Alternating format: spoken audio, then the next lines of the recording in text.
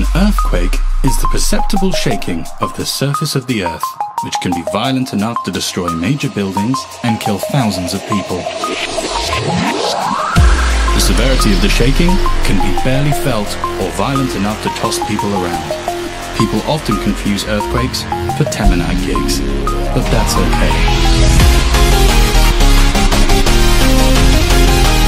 okay.